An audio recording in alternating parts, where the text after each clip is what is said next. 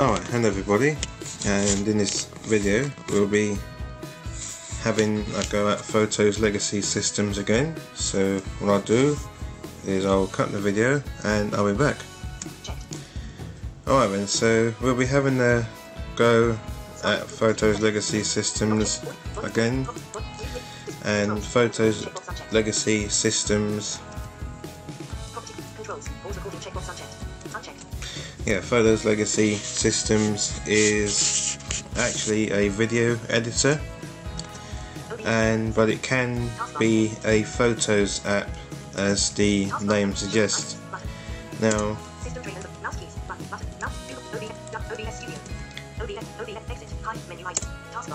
if you ever did install the Photos Legacy Systems and use the video editing app the video editing app will open up Photos Legacy systems where you can do your video editing through there.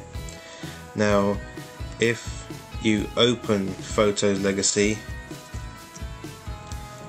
uh, if I if I show you.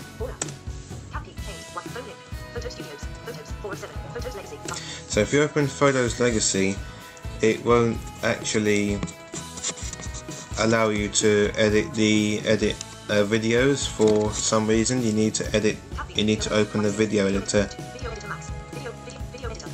And that will open up Photos Legacy as I am said and as I said earlier. Now I did do several videos of the Photos Legacy um, but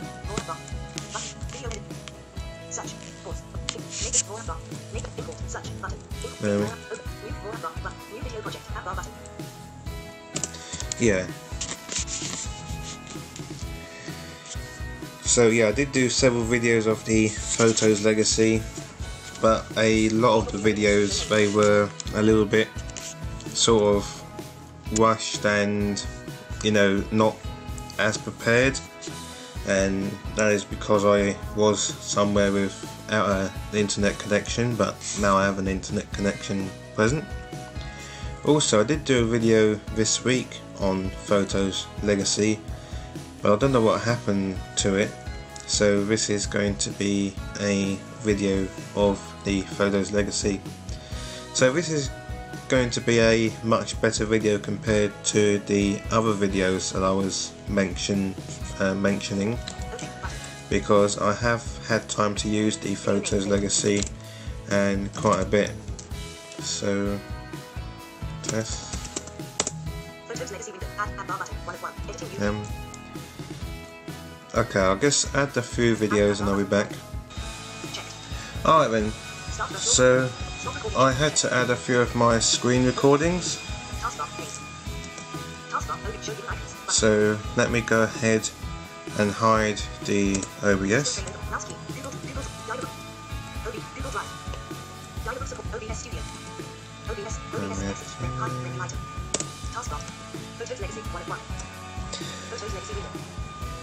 The video clips I did have on my device had music to them and I didn't really want to add something with with music. So when I first started using Photos Legacy I did find it very confusing and I find it and I found it very hard to use and edit my videos. And I was almost going to give up actually but what you need to do is you before you can edit your videos you need to add the videos to your storyboard. So what you need to do is um, choose the videos that you need to add to this storyboard. In this case we can select multiple videos and we can uh, place them into the storyboard. And now as you can see we got the play button. So if you did have the play button before or if you did see the play button it would have been it would have been disabled oh yeah okay yeah it would have been disabled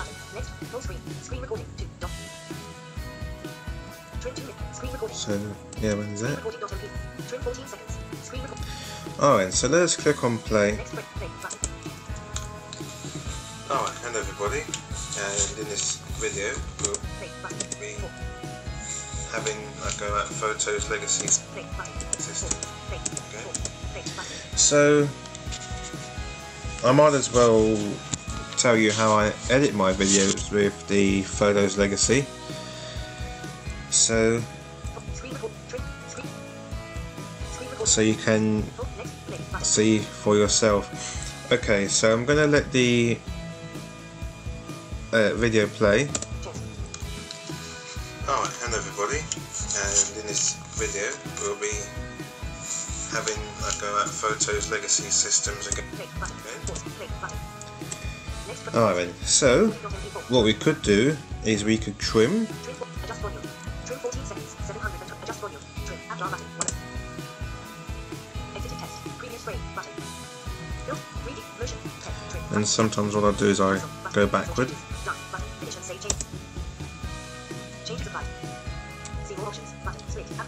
Now one thing I don't like about the Photos Legacy is that you is when you go back and forth between two things. Oh no, I, sh I should have um, split the video, I shouldn't have trimmed. Okay, let's undo that.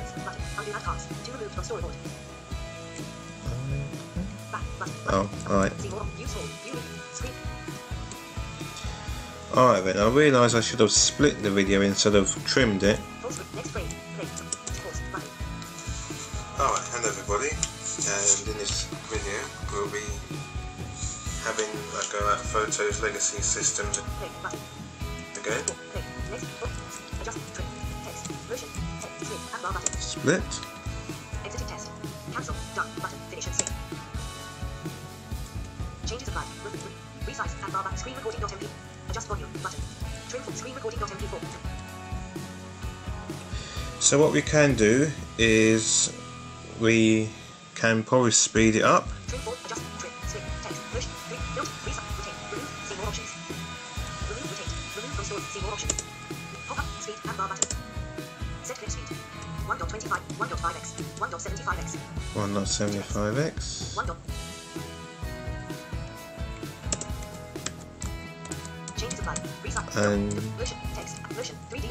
Of let's add a motion. Okay. I don't use the motion effects often, I don't add the motion effects often. Done. Button. Finish. I use the 3D more often than the motion effects.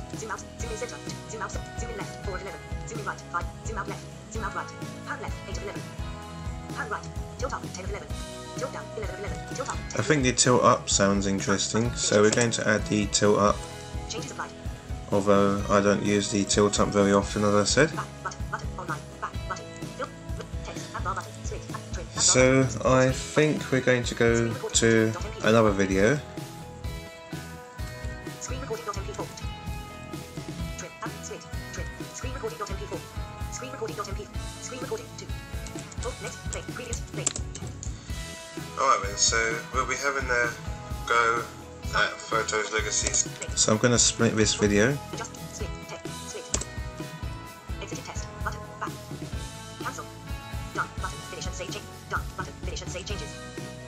Back.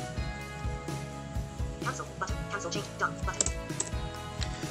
So I'm going to add a 3D effect now. You don't obviously have to split the video to Add- a 3D effect, but uh, I am Dot MP4. Two. going to.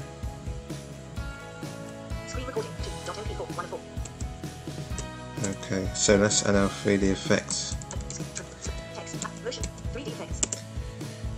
Now obviously you can use the tab key to go along and tab if you wanted to. Photos legacy window. Browse 3D effects tab item. Two. Search effects.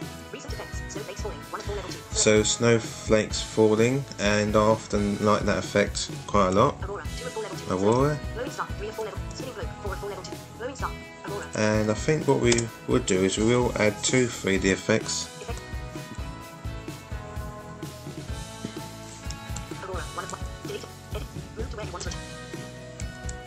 Now what you can do is you can do multiple 3D effects before heading out of the 3D section if you really wanted to. Which is, um. Need to make sure that the edit effect is on. So you can do edit effect on X-axis. Uh, so I think we might rotate the effect on the x-axis. No next slide. I don't use the resize effects uh, too often, the resize effect icon too often. Play. Move effect.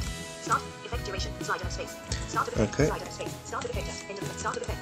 Start of effect end of effect. Start of effect end of effect. Start of effect at six. Start of start of effect at eight. Start start start of effect start of effect at start start start of start of effect end of effect nine seconds. Start of start of effect end of effect nine seconds. Start of start of effect at ten. Start of effect start start of effect at one. Start of effect end of So, End of effect. Start, start of effect. Start of end of end of effect. Start of effect. Start of start start end of start of effect at end of effect at 10 seconds. End of effect. end of effect at Start 10 of effect. seconds. Start of effect. Start of effect. Start of effect. Start of effect. End of effect at 12 seconds. End of effect at 12 seconds. Okay, I think we'll leave that there. And now what we could do is we could add another 3D effect. next play. Previous frame. Resize effect. Resize effect. Resize effect. Re- rotate effect on it. Move effect. Move to web. Edit. Aurora. Edit 3D content tab item. One of three. Browse three. Search effects. Edit. Recent effects. Snowflakes falling. Two of four level two. And I think I'll go for my favourite one, which is Snowflakes Falling, which I do use a lot, as I said. Snowflakes fall. Delete effect. Frame. End of back button online. Back end of effect, effect duration. Slider space. Start of effect. Slide. Start start of effect. Start start of effect. Slider four. So I'm going to say the start of effect is going to be at 12 seconds. Start start of effect at end of Start of effect at 24. Start of start start of start start of effect at end of effect at 13 seconds. Start of effect at 10. Start start of start start of effect at 18. Start start That's good enough. And- Start of effect. End of effect. Start of end of end of effect. Start end of start of end of effect at 13 seconds. Start of effect. at- Start of effect. at- Start of effect. End of start of effect. End of end of effect. End of effect at 14 seconds. Start of end of effect at 14 seconds. Start of effect. Start of effect at end of effect. Start of start of end of start of effect. Start end end of This can be a little bit slow when you're using it with the arrow keys. Well, we've got to we've got the thing to end at 23 seconds.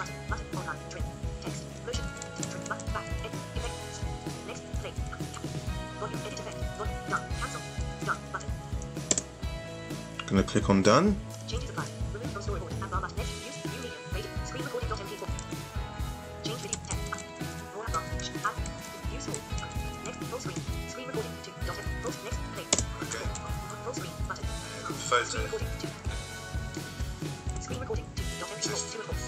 Again. Okay, so this is the Aurora effect adding now. Locate volume level. 40 volume. Controls. Pause recording. Check. Box unchecked. Unchecked. Yeah, Photos Legacy Is actually a video 48 volume. 46 volume level. but it can 42 a photo as the name suggests. Now, I think I had multiple effects going at the same time, but anyway, that is that. So. I think the final thing that I'm going to show you how to do is I'm going to show you how to add title cards. And this is pretty easy. All you have to do is you just need to press the applications key or um, you would use the right click I think uh, right click on the touchpad or the mouse and that will bring up the uh, menu the contextual menu. Volume. oh, Add title card. Four.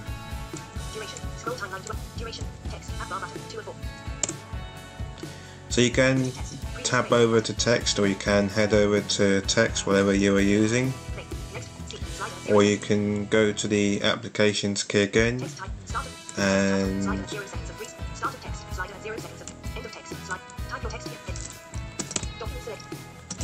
uh, go there. I think we'll add another title card and show you how you can get there um, in a minute. So this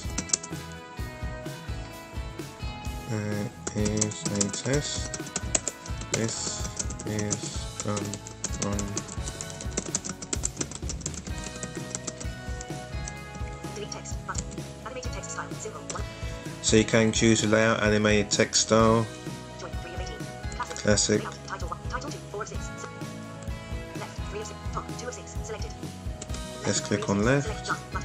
Changes. Changes applied. Now we are going to add another title card.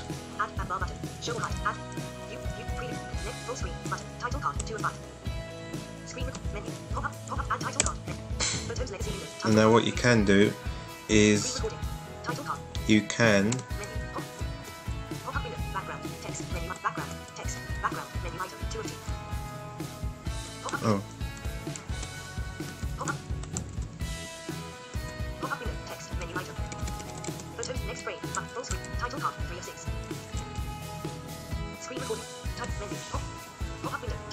1 of 2.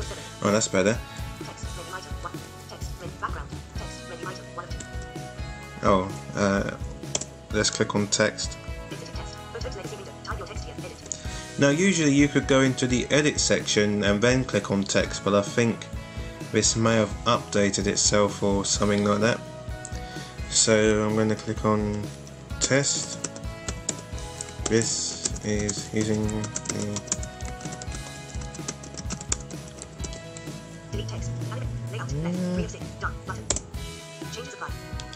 Now you can adjust the durations. Back. Button. On. List. Button. Online. Back. Button. View media. Wait. Screen. Click. Next. Full. Duration. 3 seconds. Pop up window. and you can type in a duration Duration changed to 6 seconds. Title card 2 of 6. Menu. Pop up. Duration. Menu item. Change how long this appears with. Duration changed to 5 seconds. Photo. show you my screen right here so I think one of the things I'm going to show you finally is the music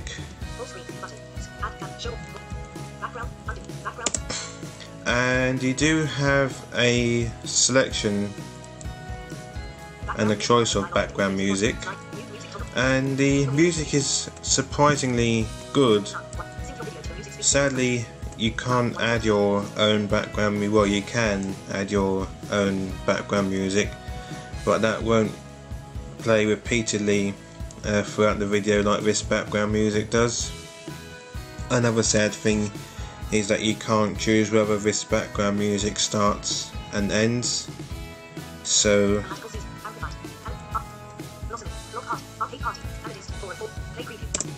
Stop preview. 42 volume left. 60. so this is the anodized tune 52 volume level. Arcade party, 5 of 48. Near Mozart time Translated. Summer. Reflecting cool, 29 of 4. Play preview bar button. Stop preview so I do like this tune 30 volume level. and I do use that in my project as well and there is another thing another tune I use but I'm not going to bother with um, uh, tuning this in uh, this video so another final thing what I want to show you is this here video quality and you can only go up to 1080p.